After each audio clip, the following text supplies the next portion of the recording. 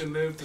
Hey, y'all see fucking Dr. Umar? This dude. What was he saying? I did see that. On, He um, call he'll uh, call anybody a coon. He don't give a fuck. Who did he call a coon? LeBron, coon. Oh God. Oprah, coon. Who else? Sam Jackson, coon. Definitely coon. he played one on TV. Maya Angelou. Maya Angelou, Jigaboo. Like he don't give a fuck, bruh. He used a throwback. Yeah, I know, right? I know. Porch, my bruh. If you get called that, like I think if you told a kid that, they wouldn't know what to do. I tell you what, if you talk, call the kid a porch monkey right now, he'd be like, "Mm, "Who me?" Like he probably think that shit was cool. That's Jigaboo Jigaboo. sounds wild to a kid of like tw- like fifteen. He's like, what the hell is They think that's a new dance, the Yeah. Jigaboo. Do the Get on Jigaboo. TikTok. You seen the new Jigaboo? Look at this shit. My grandma do the Jigaboo. Jigaboo. Yeah. I mean, my grand. If your grandma had that, she probably Got did. watermelon and everything. So anyway, I, I seen Dr. Umar on a on a uh, on an interview recently, and uh, he was going wild, and I was like, God damn, bruh, you can't be calling LeBron a coon. That's like calling Jordan a coon. I But it mean.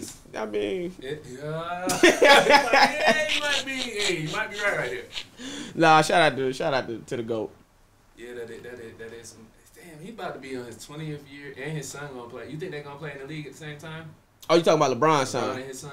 That'd be fire. He might. That might be what he waiting on. He might wait. He might not retire until after his son get in the league, just to be able to say we was both in the league at the same time. First of all, what kind of vibranium is LeBron made of?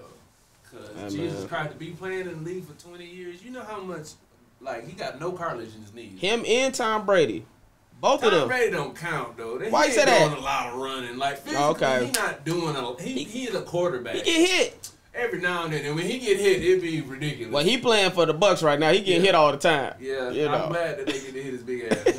hit his white, white. No, hit his big ass. I need. He need to feel it. You know what I learned though from like Tom Brady, man. This shit is real, bruh. Like you never know what somebody going through.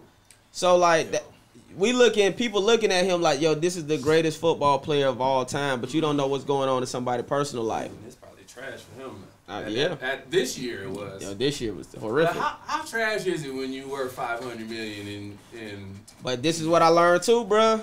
That shit is true. Money don't bring happiness, bruh. I can see that. It made life more comfortable and easier for sure. You can be able to go and do stuff you want to do, but bruh, it does it, that that happen. It's nothing like that inner happiness and peace, bruh. yeah, it's hard for. I don't know. I don't know where his life is. I, he got a model or had a model. so Had a model. He got another is. model, I'm sure. I'm- Yo, Furg, what up?